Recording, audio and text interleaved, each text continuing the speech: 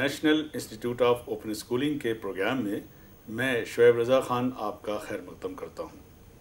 उर्दू के आज इस प्रोग्राम में बारहवीं क्लास के तालब इलमों के लिए हमने आज जिस मौजू का इंतखब किया है, वो है तरक्की पसंद अफसाना। इस मौजू पर गुफ्तु के लिए हमारे साथ हैं डॉक्टर खालिद अशरफ साहब, जो कि करोड़ीमल कॉलेज में एसोसिएट प्रोफेसर हैं।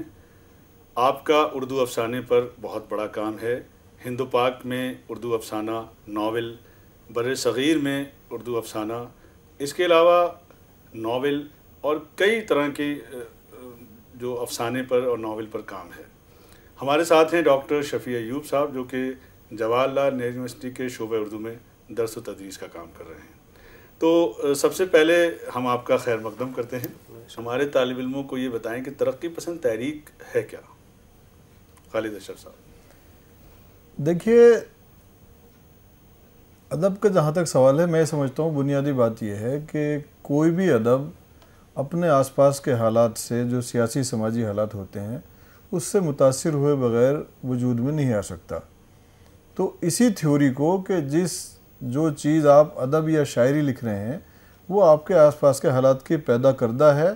तरक्की पसंद तहरीक शुरू हुई और ये सबसे पहले थर्टीज़ में, लंदन में, पेरिस वगैरह में कई कॉन्फ्रेंसेज हुई। और उस वक्त जो हालात थे यूरोप में ख़ासतौर पर फाशिज़म जिस तरह से उरूज पा रहा था और आज़ादियाँ जिस तरह से सल्ब की जा रही थी एक बड़ा ख़तरा था और उसमें यकीनन एक सोवियत यूनियन का भी रोल शामिल था कि वहाँ यूरोपियन ममालिक में तंजीमें बननी शुरू हुई। मज़दूरों की दानश्वरों की किसानों की पेंटर्स की आर्टिस्टों की। तो हमारे यहाँ से जो सबसे बड़े नुमाइंदा हमारे तरक पसंद तहरीक के थे सजाद जहीर। वो उस वक्त वहाँ लंदन में तालीम हासिल कर रहे थे। फिर डॉक्टर तासीर वहीं थे मुलक राज आनंद यहीं थे, और बहुत सारे लोग। तो उन्होंने भी महसूस किया कि अब सिर्फ़ अदब लिखने से, शायरी करने से, और ख़ास तौर पर जिस तरह की क्लासिकल शायरी, जदीद शायरी हमारे यहाँ हो रही थी, उससे काम नहीं चलेगा। ज़रूरत इस बात की कि जो कुछ समाज में हो रहा है, जो कुछ दुनिया में हो रहा है, जो कुछ हिंदुस्तान में हो रहा है, यानी यूरोप में एक तरफ़ फाशिज्म का ख़तरा है, दूसरी तरफ़ पाकिस्तान हिंदुस्तान में देखिए कि ग़ुलामी है और यहाँ गांधी जी आ चुके हैं और सब लोग मौजूद हैं। खिलाफत तहरीक भी हो चुकी है। फ़िरका परस्ती की तहरीक भी एक जो रुझान आया था बहुत ताकतवर थर्टीज़ में, वो भी ढल गया है। तो ज़रूरत इस बात की थी कि इन सारी चीज़ों को जोड़ा जाए और ये चीज़ें अदब में जो समाजी तब्दीलियाँ हैं, जो समाजी महरक़ात हैं, वो आने चाहिए। तो तरक पसंद तहरीक को अगर बहुत सादा और आसान लफ्ज़ों में कहें तो ये वो तहरीक है जो अपने आसपास के सियासी और समाजी हालात को अदब में शामिल करना चाहती है और न सिर्फ़ शामिल करना चाहती है बल्कि अदब के ज़रिए इन हालात को तब्दील भी करना चाहती है। ये तरक पसंद तहरीक है। तरक पसंद तहरीक का महवर यही था कि अदब समाज के लिए है समाज की अक्कासी करने के लिए है समाज के भी उन दबे कुचले लोगों के लिए है और 1936 में हिंदुस्तान के अंदर मुल्कराज आनंद सज्जाद जहीर उसके रूह रमा थे और वो जब लंदन से वापस आए एक नई सोच लेकर के और उसके पचे पुष्ट कहीं ना कहीं 1917 में डॉक्टर साहब जो रूस के अंदर इनकलाब आया। रूस में इनकलाब रूस का इनकलाब 1917 का। पहली जंग अजीम फ़र्स्ट वर्ल्ड वार के ख़त्म होने के बाद रूस के इनकलाब के बाद पूरी दुनिया के अंदर एक नई सोच पैदा हो रही थी। और साम्राज्यत के ख़िलाफ़ लड़ने के लिए हिंदुस्तान में तो अदीबों ने यह सोचा कि अदब अब सिर्फ़ गुलो बुलबुल की कहानी नहीं है। सिर्फ़ किसी शहजादी की कहानी नहीं है कि हम कोई कहानी लिखें उसमें एक शहजादा हो एक शहजादी हो और दोनों के अंदर इश्क और मोहब्बत की दास्तान हो। बल्कि हम ज़मीन पे आकर के किसानों की बात करें, मज़दूरों की बात करें और आज़ादी की लड़ाई में लोगों को शामिल करने के लिए हम आगे बढ़ें। तो ये जो सिलसिला चला है यहाँ पे 1936 में हिंदुस्तान के अंदर तरक्ब तहरीक की बुनियाद डाली गई और वो तहरीक की शक्ल में उसमें मुंशी प्रेमचंद जैसा सीनियर लिखने वाला सीनियर अदीब। सदारत। उसकी सदारत पहली सदारत की। और एक जुमला जिसकी तरफ़ जो मशहूर हो गया आज सबकी ज़ुबान पे है वो था कि हमें हुस्न का मैार बदलना तब्दील करना होगा। ये हुस्न का मैार बदलना हुस्न सिर्फ़ शहजादियों में है या खेत में काम करने वाली जो गरीब लड़की है जो पत्थर तोड़ती हुई मजदूर है उसमें भी हुस्न है। तो सड़क के किनारे जो पत्थर वो तोड़ती पत्थर इलाहाबाद के पत्थर तो उस पत्थर तोड़ने वाली मजदूर के अंदर भी हुस्न है। ये तब्दीली थी। तरक्की पसंद तहरीक की और अफसाना उससे पहले लिखा जा रहा था डॉक्टर साहब प्रेमचंद। लेकिन अफसाने की उम्र माफ़ कीजिएगा कि बहुत ज़्यादा नहीं थी और ये उर्दू अफसाने की खुशकिस्मती है कि सिर्फ़ 25-30 साल का अरसा गुजरा था उर्दू अफसाने की उम्र नौखेज़ी की उम्र कहेंगे नौजवानी की उम्र कहेंगे अफसाने की। उस उम्र में तरक्की पसंद तहरीक शुरू होती है और उर्दू अफसाने को बेहतरीन लिखने वाले मंटो बेदी कृष्णचंदर इसमत चौकताई। ख्वाजा अहमद अब्बास इस तरह के लिखने वाले अचानक सामने आते हैं ये सारे और ये सब 20 22 साल 24 साल के नौजवान थे। उस पर उस वक्त जब आते हैं। तो अफसाना लिखा जाता मजनू गोरखपुरी के अफसाने सजाद हदर हदर के, अफसाने। लेकिन मजनू के अफसाने देखिए उसमें एक अजीब किस्म की जमालियाती हुस्न आपको मिलेगा लेकिन कोई ज़मीनी हकीकत नहीं थी कोई सच्चाई नहीं थी। प्रेमचंद ने ज़रूर क्योंकि आइडियलिज्म उस वक्त तक अफसाने में उर्दू अफसाने में आइडियलिज्म था। एक आदर्शवाद काम कर रहा था। कुछ उपदेश थे उसमें नसीहतें थीं। प्रेमचंद ने ज़रा सा उसको समाज से जोड़ने का काम किया था लेकिन तरक पसंद तारीख ने पूरे मंजरनामे को तब्दील कर दिया। अब कहानी बयान होगी कि दश्त हस्ती बने मक्तल तो लहू रोते हैं दिल और दिल लहू रोएँ तो होती है कहानी पैदा। तो दिल के लहू रोने से जब कहानी पैदा हो वो तरक पसंद तहरीक की कहानी थी वो अफसाना था। तो जो तरक्की पसंद तहरीक से पहले शुरू होने से पहले जो अफसाने लिखे जा रहे थे जिसमें प्रेमचंद। लिख रहे थे या सज्जाद हैदर यलदरम लिख रहे थे अब ख़ास तौर से 1936 में जब तरक्की पसंद तहरीक शुरू हो जाती है तो उसमें क्या उनका एक ऐसा मैनिफेस्टो था कि अफसाने के जो मौजूद होंगे वो यही होंगे? देखिए शोएब साहब मैं ये अर्ज़ करना एक तो प्रेमचंद से पहले भी कुछ लोग हमारे लिख रहे थे। दो नाम खासतौर पे सुल्तान हैदर जोश सुल्तान हैदर जोश। और अल्लामा राशिदुल खैरी। उर्दू का पहला अफसाना एक डिबेट है हमारे यहाँ तो उसमें ज़्यादातर लोगों ने अल्लामा राशिदुल खैरी को पहला अफसाना निगार करार दिया है और बेशक उनके यहाँ अफसाने के अनासिर मिलते भी हैं। लेकिन प्रॉब्लम उन सब की ये है कि उनकी जो फ़िक्र है उनका जो आइडिया है वो जदीद नहीं है। अफसाना एक जदीद सिनफ सुखन है जो। यूरोप के जो इंडस्ट्रियल रेवोल्यूशन आया तो उससे हमारे यहाँ पहुँचा है। और प्रेमचंद चूँकि गोरकी से तो उनके ताल्लुकात भी थे और पढ़ते भी थे बहुत सारा बाहर का अदब बहुत पढ़ते थे। प्रेमचंद के यहाँ पहली बार हमें जैसे जदीद मॉडर्न इथोस कहते हैं ना। वो नज़र आती है। फिर प्रेमचंद के यहाँ भी सोवियत इनकलाब के बाद तब्दीलियाँ हैं। तो अब प्रेमचंद के जो बड़े अफसाने हैं ना पूस की रात है निजात है कफन है नई बीवी और मिस पद्मा है और दूसरे अफसाने सवा सिर गेहूँ है। ये सारे अफसाने जो हैं वो एक जदीद नज़रिए को ज़ाहिर करते हैं।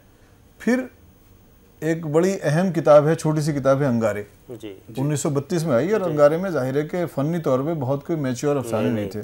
सज्जाद जहीर ने जहाँ पे अमली तौर पे तहरीक के काम काम किया वहाँ इल्मी तौर पर भी लगातार काम करते रहे। कई किताबें उन्होंने हमें दी हैं। रोशनाई एक बहुत इंपॉर्टेंट किताब दी है। फिर उनकी नज़में हैं पिघला नीलम फिर अंगारे उन्होंने एडिट किया। अंगारे में खुद अफसाने उनके थे रशीद जहाँ के अफसाने थे मोहम्मद अहमद अली के अफसाने थे महमूद ज़फ़र के अफसाने उसमें थे। तो उस अंगारे ने वो तो किसी ने लिखा भी उसकी मुखालफत बहुत हुई कि लगा दी आग अंगारे ने दुनिया शरीयत में फिर वो बैन किया गया। अंगारे ने उर्दू अफसाने को जदीद अफसाने को एक बहुत बड़ा इनकलाबी टच दिया। और वो टच ये था कि अब जो पुराने मौजूद थे हमारे यहाँ जिनको हम डिस्कस नहीं करते थे जैसे जिनसियात है या जैसे जो अहले मज़हब हैं मज़हब के जो रहनुमा हैं उनकी ज़ाती ज़िंदगी क्या है? या मज़हब को किस तरह से उन्होंने इस्तेसाल का एक टूल बनाया हुआ है? तो अंगारे पहली बार इन नए मौजूद को इन जदीद मौजूद को जिनको टैबू समझा जाता था इनको डिस्कस करता है। इसी अंगारे की रिवायत को मंटू ने बेदी ने कृष्णचंद्र ने असमत चुगताई ने अज़ीज़ अहमद ने उपेन्द्रनाथ अश्क ने हैतुल्ला अंसारी ने और और बहुत सारे नाम हैं। देवेंद्र सत्यार्थी एक खूबसूरत नाम है। इन लोगों ने देवेंद्र सत्यार्थी इन लोगों ने उसे आगे बढ़ाया। तो कहना सिर्फ़ ये है कि एक जदीद इथोस थी और उसमें मार्क्सिज्म के असरात बहुत थे और उसके साथ साथ फ्राइड की नज़रियात के भी असरात बहुत थे। यानी ये सिर्फ़ सियासी और समाजी बातें नहीं करते हैं। इंसान की नफ्सियात औरत की नफ्सियात। अब देखिए खातून थी असमत चुगताई। लिहाफ लिखा उन्होंने और और बहुत सारे अफसाने लिखे। टेढ़ी लकीर उनका बहुत मशहूर नावल है जिसमें औरतों की जो घरेलू ज़िंदगी है जो पर्दों के पीछे रहती है किवाड़ों के पीछे से झांकती हैं वो सब नज़र आती हैं।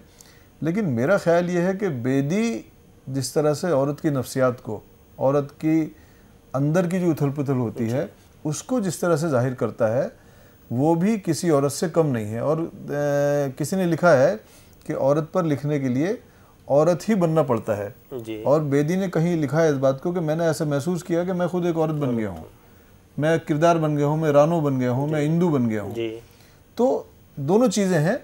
यानी अगर कोई ये कहे कि तरक वसिन तहरीक में सिर्फ़ ये है कि सियासी और समाजी मौजूद को डिस्कस किया जाता रहा या समाजी इनकलाब लाने की बात की जा रही तो मेरा कहना यह है कि सिर्फ़ यही नहीं है यहाँ इंसान की नफसियात भी है। और ख़ास तौर पर औरत की नफसियात भी है और ख़ास तौर पर वो मौजूद जिनको आमतौर पर नापसंदीदा करार दिया जाता था। अब प्रेमचंद का देखिए प्रेमचंद का कोई हीरो नहीं है। शुरू में कुछ हीरोज दिखाई देते हैं लेकिन बाद में वो सब किसान मजदूर होरी गोबर वगैरह उनको हीरो बनाते हैं। और प्रेमचंद ने लिखा है कि मैंने इस नज़रिए से इस सबसे बहुत सीखा है फिर उनका खुतबा है वो। आपने जैसे फरमाया कि अब हमें हुस्न का मेयार तब्दील करना होगा। तो प्रेमचंद के यहाँ खुद बड़ी तब्दीली नज़र आती है और इस तब्दीली को पहली बार अंजुमन तरक पसंद तहरीक ने इंस्टीशलाइज किया। चीज़ें पहले से भी तब्दील हो रही थी। जब समाज तब्दील होता है जब हालात तब्दील होते हैं बहुत तरह की तहरीकात चल रही हैं। फ़र्स्ट वर्ल्ड वॉर हो चुकी है इंडस्ट्रियल रेवोल्यूशन हो गया यहाँ हिंदुस्तान में बिजली आ गई है रेल तो गालिब के ज़माने में आ गई थी। तो अदब शायरी जो है तब्दीली से अछूती नहीं रह सकती। आप तहरीक चलाएँ या ना चलाएँ अदब तो तब्दील होता रहेगा। तरक् पसंद तहरीक ने सिर्फ़ ये किया फिर सर सैद की तहरीक थी। सर सैद ने भी अदब में बहुत बुनियादी चेंजेस किए हैं।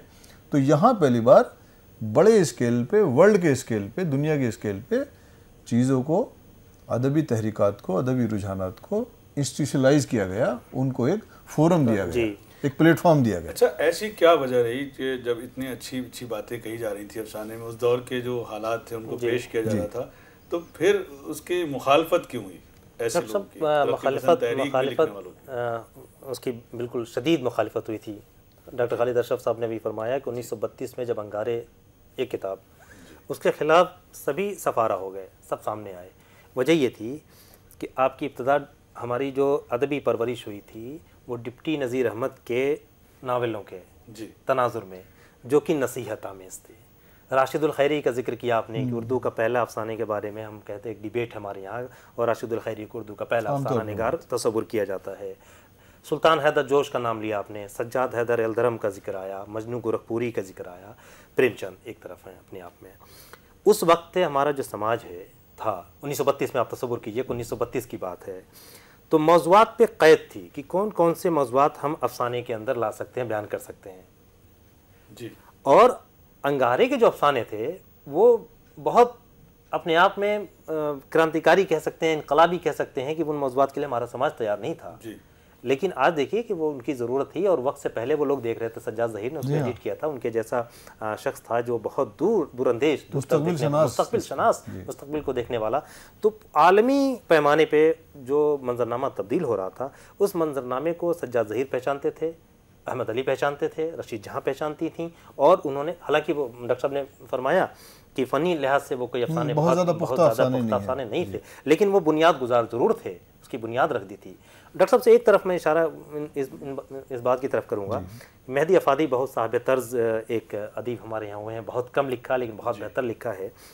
एक बहुत मशहूर मजमून लिखा उन्होंने उर्दू लिटरेचर के अनासर खमसा। और उसमें सर सैयद मोहम्मद सैन आज़ाद डिप्टी नज़ीर अहमद हाली और शिबली को उन्होंने उर्दू लिटरेचर का अनासर खमसा कहा। पाँच तत्व कहा। Five elements of Urdu literature. इसी तरह से किसी हमारे नाकिद ने उर्दू अफसाने का अनासर खमसा का ज़िक्र किया है जिसमें मंटो बेदी क्रिश्चंदर इसमत और ख्वाजा अहमद अब्बास। इन पाँच को मिलाकर कहा कि ये उर्दू अफसाने का नासिर खमसा है। डॉक्टर साहब एक तरफ़ आपकी तरफ़ इशारा करूँगा एक बात की तरफ़ कि 1936 में जब तरक्की पसंद तहरीक की शुरुआत होती है और एक मैनिफेस्टो सामने आता है कि अब हमको अदब कैसा तख्लीक करना है। हसरत मोहानी जैसे बुज़ुर्ग शामिल थे और उन्होंने अपनी दुआएँ दी। तहरीक मौलवी अब्दुल जैसे लोग उसमें। जवाहरलाल नेहरू उसमें नेहरू शामिल थे। उन्होंने अपनी दुआएँ दी और कहा कि इसी अदब की ज़रूरत है। ऐसे सज्जा जहीर पेश पेश हैं। ये सारे मंटो की पैदाइश 1912 की जहाँ तक मुझे याद है। जी। और इनमें अनासिर खमसा में सबसे कम उम्र इसमत की थी जिनकी पैदाइश 1920 की है। और बाकी की पैदाइश 1914 1916 यानी सभी ये जो है बीस बाईस साल 24 साल के नौजवान थे उस वक्त। तो एक नया खून भी था उर्दू अफसाने के लिए वह नेक शगुन था शायद कि उर्दू अफसाने को ये बेहतरीन लिखने वाले एक साथ 1936 में और सब नौ, सब नौजवान हैं। इससे बड़ा शायद फ़र्क पड़ा डॉक्टर साहब उर्दू अफसाने को आगे ले जाने में। मेरा ऐसा ख्याल है। देखिए मुझे ऐसा लगता है कि बात सिर्फ़ नौजवानी की नहीं है। जी। नौजवान तो मेरे ख्याल में रशीद अहमद सिद्दीकी भी थे उस वक्त। जी। जाफ़र अली ख़ान असर भी थे। जी। और इनके रवैये आपके सामने इन दोनों हजरात के। माहिर कादरी एक साहब हुआ करते थे वो भी खासे जवान थे। मसला ये है कि जो तख्लीक कर रहे हैं आप उसके लिए इनपुट क्या है आपके पास? जी। उसके पास खाम मवाद आप कहाँ से ले रहे हैं? ये सब जिनके आपने नाम लिए इन सब में सज्जाद जहीर खास तौर पे ये वो लोग थे। मंटो। जी। मंटो ने रूसी कहानियों का तर्जुमा किया सबसे पहले। बारी अलीग की सोबत में रहे। रूसी अदब को बहुत पढ़ते रहे। रूसी इनकलाब पे मजामी लिखे हैं मंटो के चचा साम के नाम खत हैं। तो ये है कि आपके पास खाम मवाद कहाँ से आ रहा है? इन सब नौजवानों की खसूस ये थी कि यूरोप में जो कुछ तहरीकात थी यूरोप में जो कुछ तब्दीलियाँ हो रही थी उससे डायरेक्ट ये इंफॉर्मेशन कबूल कर रहे थे न सिर्फ़ इंफॉर्मेशन कबूल कर रहे थे बल्कि असरात कबूल कर रहे थे। आप एक जगह रह रहे हैं और आपके पास खबरें नहीं आ रही हैं आपके पास किताबें नहीं आ रही हैं आपके पास इंफॉर्मेशन नहीं आ रही हैं तो आपके जो जहनी फॉर्मेशन होगा ना? जहनी रवैये जो बनेंगे वो कोई बहुत पॉजिटिव बहुत फॉरवर्ड लुकिंग बहुत जदीद बहुत मॉडर्न नहीं होंगे। तो इस नस्ल की खसूसियत ये है सज्जाद जहीर और मंटो वाली नस्ल की और क्रिश्चियन वाली नस्ल की कि ये सभी मगरबी अदब से का मुताला करते थे। मगरबी अदब के तराजिम भी इन्होंने किए हैं और मगरब में जो कुछ तब्दीलियाँ हो रही हैं सियासी समाजी तब्दीलियाँ हो रही हैं वो इन्फॉर्मेशन इनके पास अप टू डेट तकरीबन रहती थी। तो ये सारा मामला जो है तरक पसंदी का एक तरफ़ तो मार्क्सिज्म का है दूसरी तरफ़ मगरब की जितनी भी तहरीकात हैं उसमें फ्रेडिज्म एक बड़ी तहरीक है उसका असरात भी लगातार कबूल कर रहे हैं। और एक ख़ास बात यह है कि मिसाल के तौर पर सभी एक मौजू पे लिख रहे हैं लेकिन टाइप नहीं है। जैसे फिरका वाराना फिसाराबाद में सैंतालीस जो। मंटो लिख रहा है ज़ाहिर है कि क्रिश्चियन नहीं लिख रहा है। दोनों का जो स्टाइल है दोनों का जो उसलूब है अलग अलग है। असरात एक जगह से कबूल कर रहे हैं लेकिन साथ में इनकी अपनी जो नफ्सियात है अपनी जो सोच है अपना जो उसलूब है अपनी जो लफ्जियात है फिर अ, अपनी जो तालीम है जी, अपनी तरबियत है। मंटो के बारे में एक प्रॉब्लम है ज़रा सी कि मंटो की तालीम कम थी। जी। और मंटो की उम्र भी कम रही। तो क्रिश्चियन की तालीम बहुत ज़्यादा थी। क्रिश्चियन इंग्लिश में एम ए थे। सजाद जहीर बहुत पढ़े लिखे आदमी थे। असमत चौथाई खासी पढ़ी लिखी थी। बेदी साहब की भी तालीम थोड़ी सी कम रही। तो ये सारे फैक्टर्स हैं जिनसे अदब तरक पसंद तहरीक के जो आपने जैसे अनासिर खमसा वाली बात कही उसमें एक नाम मुझे बहुत अच्छा लगता है जिसको बहुत ज़्यादा डिस्कस नहीं किया गया देवेंद्र सत्यार्थी को। आखिर में फिर वो हिंदी की तरफ़ चले गए थे कुछ लाइव भी उनकी बोहिमियन थे अभी कुछ चंद साल पहले ही मरे हैं। तो लोगों से जो कांटेक्ट है और वो पीआर वर्क जो होता है जोड़ तोड़ वगैरह वो सब नहीं करते थे। बहुत नेक सादा सा मासूम सा आदमी थे। 1936 से लेकर तरक्की पसंद तहरीक जहाँ से शुरू होती है उसके कहाँ तक ये इनका गलबा रहा? कितना पीरियड है इनका तरक्की पसंद देखिए- खास तौर से? शोएब रजा साहब इंसाफ की बात तो यह है कि और सारी दुनिया का तरीका है कि तहरीकें चलती हैं। तहरीकों का उरूज होता है और फिर तहरीकों का जवाल भी होता है। कोई तहरीक कोई दुनिया का नज़रिया कोई इज़्म कोई मूवमेंट ऐसा नहीं रहा है जिसका जवाल नहीं हुआ जी।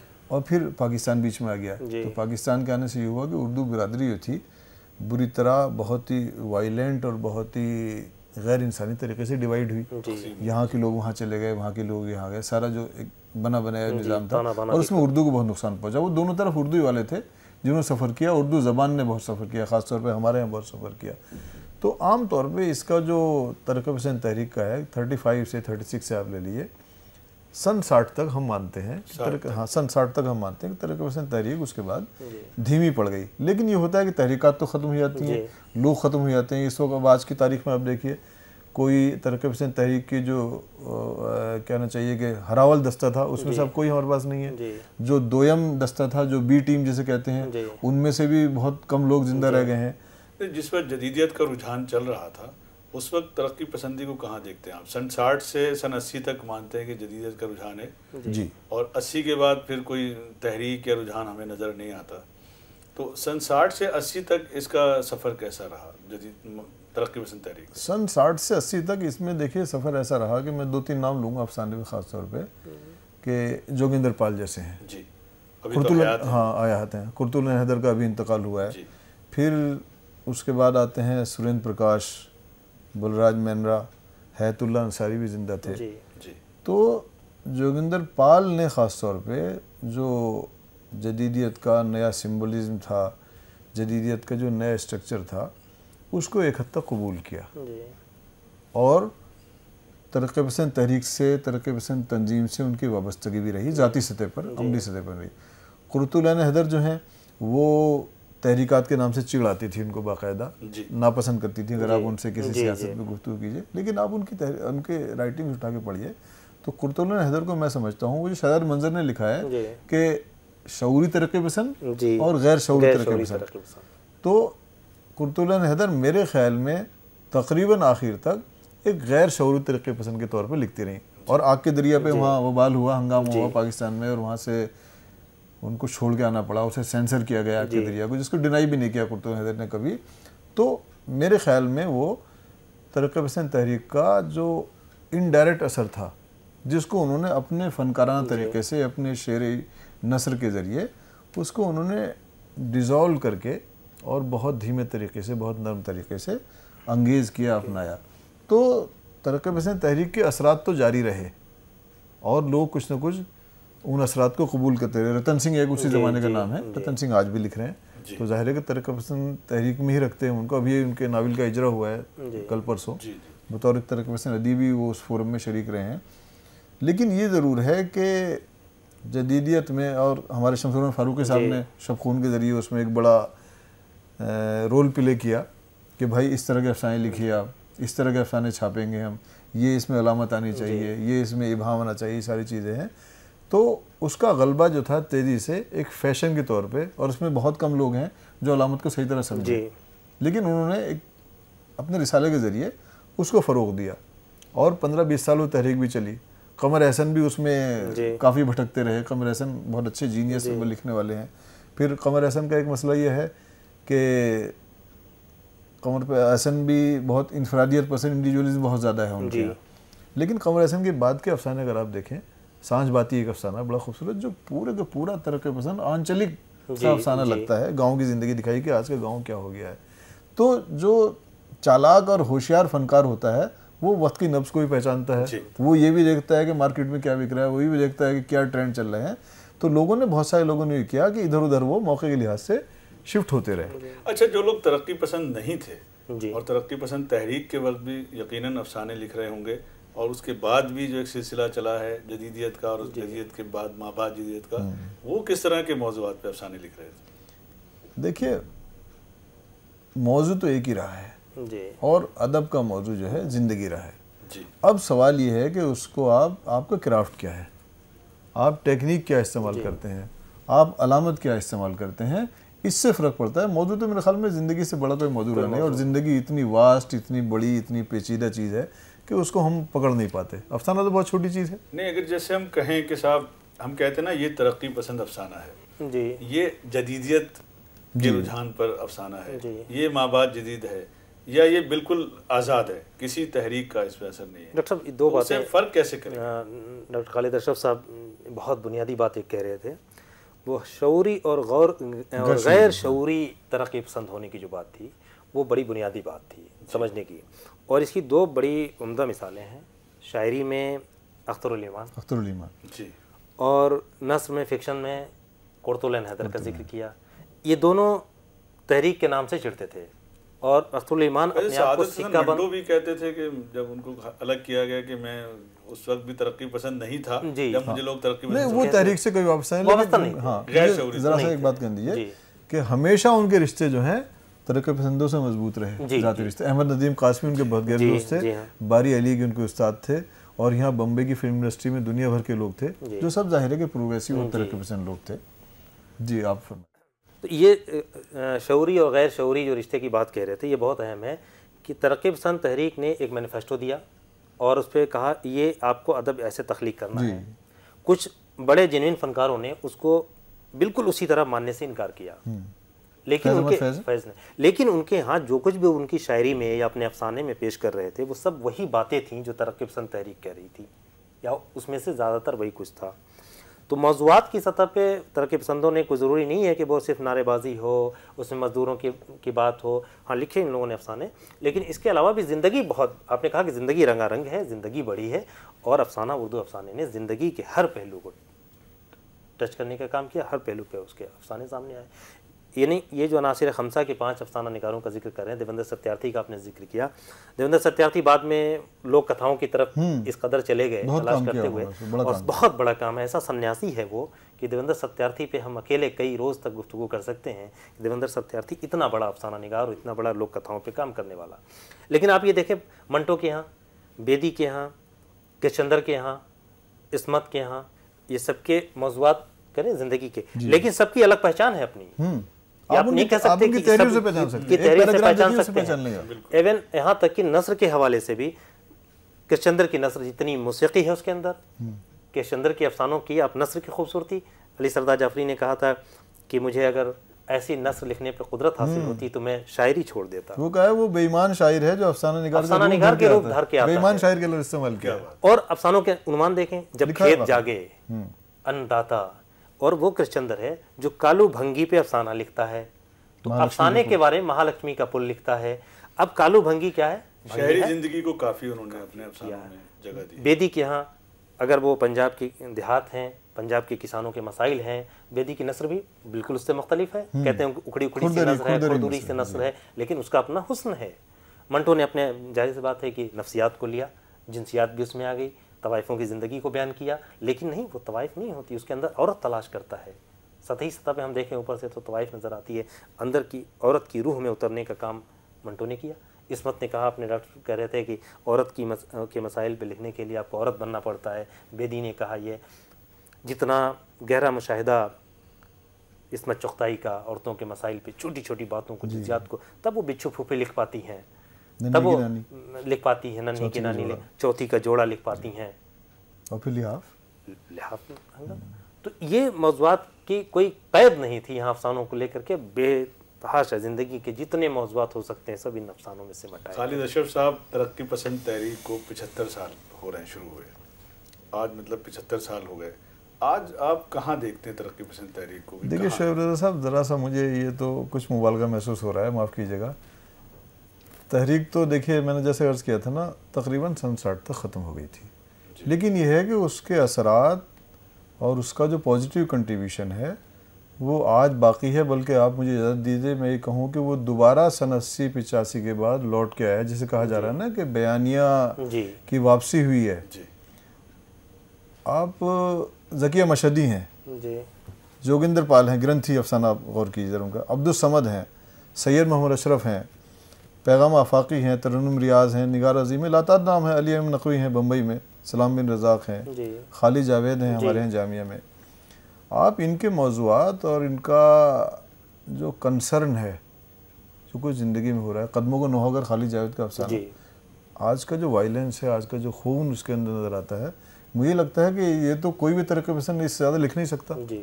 तो वो रुझानात और वो ट्रीटमेंट जो है दोबारा लौट के आया है। उर्दू अफसाने में उर्दू नावल में इवन उर्दू शायरी में। और वो जो इबाम और धुंध और जो वो बेनाम के किरदार हुआ करते थे जिनका कोई नाम नहीं हुआ करता था और जिनका कभी सर कटा होता था कभी हाथ कटी होते थे कभी टांग कटी होती थी वो अब गायब हो गए हैं। और अफसाना हमारा एक पॉजिटिव सिमत में जा रहा है और जिसमें तरक्की पसंद तहरीक ने एक बुनियाद का रोल अदा किया है। समाज नज़र आ रहा बुनियादी है। चीज़ समाज जी समाज समाज नज़र आ ज़िंदगी समाज की बात है। ज़िंदगी की बात की थी और साफ-साफ समझ रहे हैं आप तो हम ये कह सकते हैं कि इस वक्त जो है अदब हमारा अब आज़ाद है। किसी तहरीक का उस पर असर नहीं है। किसी लेबल उस पर और नहीं आज़ाद रहना भी चाहिए। आप लोग यहाँ तशरीफ़ लाए इतनी अच्छी गुफ्तु की तरक्की पसंद अफसाने पर। यकीनन हमारे तालब इल्मों ने इससे इस्तेफादा किया होगा।